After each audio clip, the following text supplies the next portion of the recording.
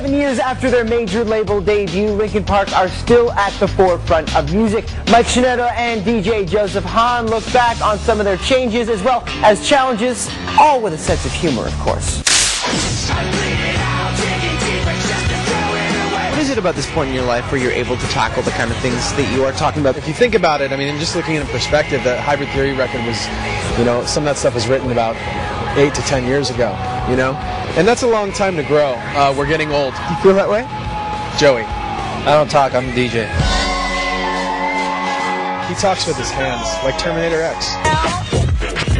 Obviously, you know, it's very uncomfortable. Joe doesn't want to talk to you. I mean, he kind of wants to talk to you, but since I'm here, he won't talk to you. And it's and it just makes things so difficult. And I mean, we're on the verge of breaking up any day now. You seem like a very self-aware band in the sense that you kind of feel comfortable in this career at this point.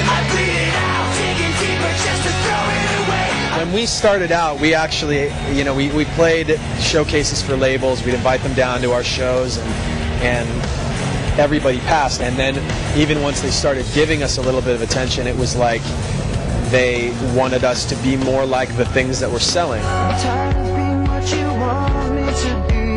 I think this band has always had a, not a flawless sense of identity, but a but a good sense of who we we were and who we wanted to be. Everything is what I wanted to be. So that when somebody comes into the studio and says, "Let's hear the new song," and they hear it and they go, "Oh, you should do this, you should do that," we in the beginning, especially, we would tell them no, and then now we don't even let them come in.